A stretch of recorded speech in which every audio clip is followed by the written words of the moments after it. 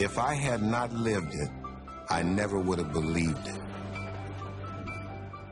And it all started when I wore my heart on my sleeve. Or should I say, on my head.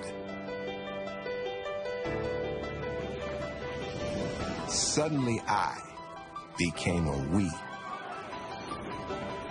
And we do extraordinary things.